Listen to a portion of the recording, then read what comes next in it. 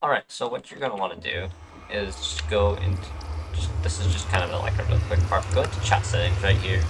Um, make all of these like the max probably. Um, change it to shown, all these on. I scale whatever you want, I change mine to 69 because I can. But what you probably came here for is the, the chat like thing to make it invisible. I spelled chat wrong, I'm stupid. Chat, um, okay, so what you're gonna want to do is have unlimited chat, of course, that's a good thing. Uh, have stack on because it's just useful. People won't flood your chat as easily. Chat height fix. Um, like that's useful so like it doesn't go in your health bar if it gets too long.